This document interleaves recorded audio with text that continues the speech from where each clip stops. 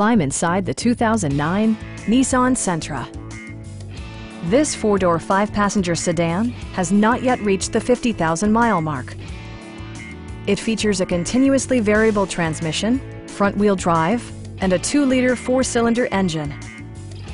Top features include power windows, one-touch window functionality, a tachometer, variably intermittent wipers, and a split-folding rear seat. You and your passengers will enjoy the stereo system, which includes a CD player with AM-FM radio and four well-positioned speakers.